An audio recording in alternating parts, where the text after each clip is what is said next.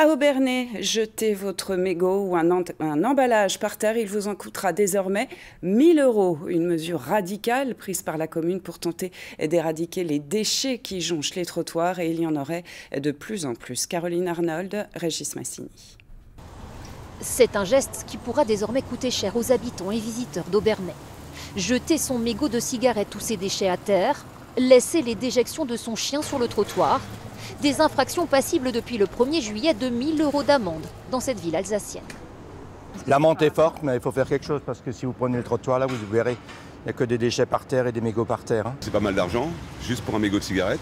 Je trouve ça vraiment excessif. Et ça fait beaucoup quand même 1000 euros. Euh, une grosse amende, ça fait un peu plus d'un salaire pour un jeune. Ben, c'est très bien. Même vos fumeurs, vous pensez que oui, c'est bien? Oui, parce que moi je ne, je ne jette jamais mes clopes, quoi. je les emmène. Une décision qui divise les habitants, mais indispensable selon le maire, car les incivilités sont en augmentation. Voilà, ça c'est un exemple, euh, on tombe là-dessus.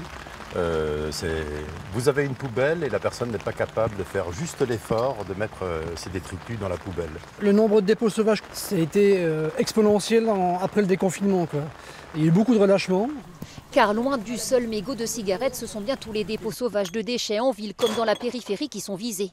Alors l'amende de 1000 euros pour le maire, c'est un moyen de créer un électrochoc. On préfère prendre les devants, avoir une délibération extrêmement dissuasive qui fasse réfléchir ceux qui polluent notre environnement.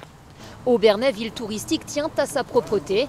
Et même si dans les premières semaines, la police municipale est surtout appelée à faire de la pédagogie, il faudra très vite intégrer les bons réflexes.